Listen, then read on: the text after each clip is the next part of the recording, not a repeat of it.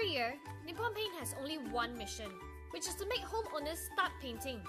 But uh, Malaysians are very lazy, I tell you. So long the house is not coming down, it's okay lah. With this consistent mission, the challenge is really how can we deliver this message in a fresh manner. In every Malaysian home, there are areas with moldy tiles, rusty pipes, bubbling, and peeling walls. Yet we always pretend that we don't see them. However, deep inside, we actually know it. We are always quietly looking around asking for help. Tolong! Tolong! Tolong rumahku! Based on this insight, we created a campaign called Tolong Rumahku. A 30 minute branded content on TV3 was created to showcase the most challenging problems in a light-hearted manner.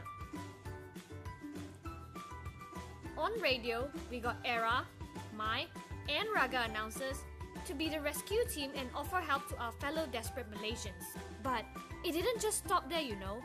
We also captured the whole process and turned into inspirational videos and put them on Astro TV. On top of that, these were put into bite-sized information on Nippon Paint's website.